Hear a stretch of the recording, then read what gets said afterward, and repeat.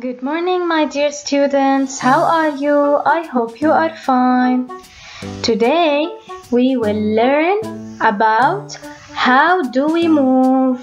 So, last lesson we learned about the parts of our body. Today we will learn how do we move these parts. Let's start. Are you ready? Of course you are. Now, first of all, we learned last time that we have a head, right? We have, this is the head. We also have arms and legs. We call them limbs. Now we use our arms and legs to move. We move with them. So we can move in many ways using our arms and legs. How can we move? Let's see together.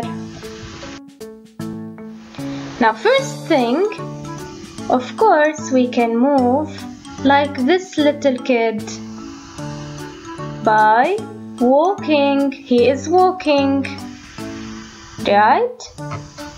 So I can walk. Look, he is using his legs to walk. What else can we do? Look at this kid.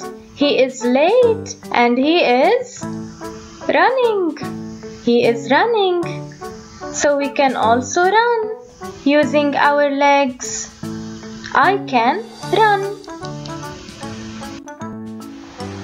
Now what else can we do with our arms and legs? Look at this girl.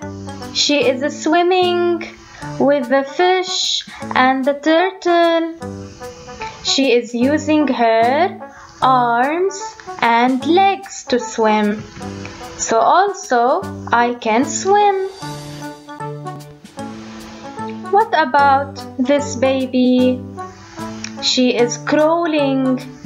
Babies usually crawl. Also, we can crawl also. So babies can crawl.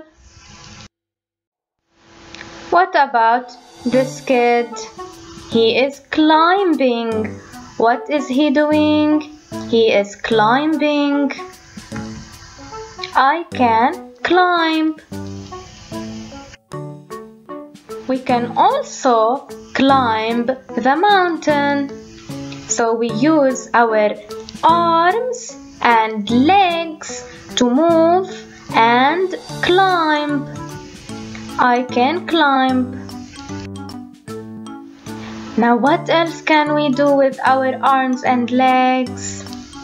Of course, like in this picture, we can jump. You all love to jump. So, I can jump. What can you do? You can jump.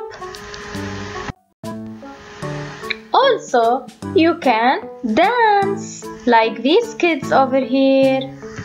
I can dance. You also use your arms and legs. And we can do many more things with our hands and uh, legs. This was our lesson for today. I hope you enjoyed it, my dear students. Let's review together what did we learn? We learned that we can move in many ways. Like what? Run, walk, swim, crawl, climb, jump, dance. These are only few movements we can do.